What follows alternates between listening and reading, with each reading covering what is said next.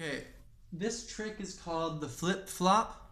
All of these tricks, all of these names I'm taking from the website learnasalato.com. So these aren't the names I made up. If you have other names that you like better, post them in the comments. And there are going to be some tricks later on that I've made up that don't have names for them. So if you ever have comments about names of tricks, post them. I'll change them.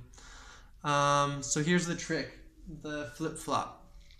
Okay, so this, this trick takes up three beats and you have to pay really close attention that you're listening to the shake and you're not focusing too much on the sound of the click. Okay? So let's get, let's get one, two, three, one, two, three, one, two, three, one, two, three, one, two, three, one, two, three, one, two, three, one, two, three, one, two, three, one, two, three. So there's a click on one, and then there's a click on two and. The, there's a click on the two and a half beat. So 1, 2, and 3, 1, 2, and 3, 1, 2, and 3, 1, 2, and 3. So all your, hand is just making this shaking motion back and forth with the beat. And then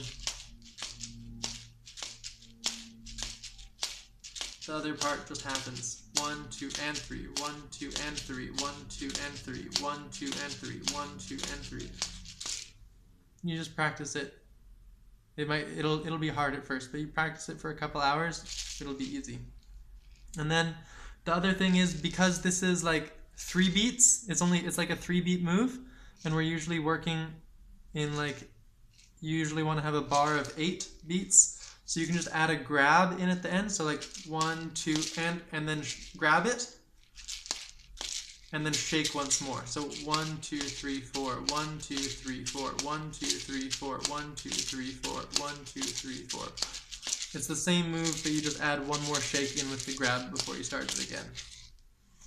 Also, when you're going from this like grabbed position into it, you have the option to either just like let it swing out of your hand, or you can like whack it out of your hand with the other one and get an extra beat.